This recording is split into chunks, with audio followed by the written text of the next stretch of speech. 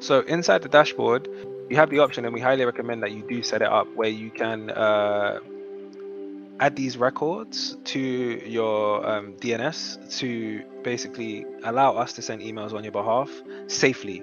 Uh, so, and when I mean safely, I mean you're almost guaranteeing that all of the emails you send will actually go through. Um, whereas if this isn't set up, you can set it to any email you want. And this is why we say unsafe, safe here. So if I turn this off, I can then set the from email here. But without this on and without using the the settings that are set here, this is not guaranteed to send the notifications, to send all of the emails that we're sending from the client interface plugin. So it is best that you do set it up there and I tick this on and then I don't have to worry about it anymore. It takes the from email address from my agency dashboard.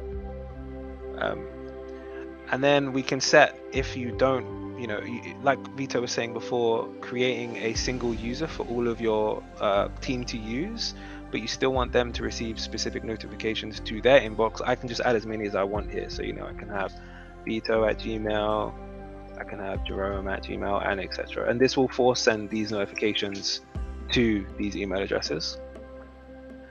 And then finally, you're setting up the notifications for your for the users on this website to choose. So if I turn this off, I'm not turning off this notification. I'm turning off the option to choose this note choose this setting when I am setting up my profile. So if I don't want people to be able to set for every new task they receive a notification, I turn this off. If I don't if I want them to be able to select every comment, I leave this on. And then the only two that do uh, affect email sending are these two. So this turns off the auto send or turns it on essentially. And then let's save the settings here.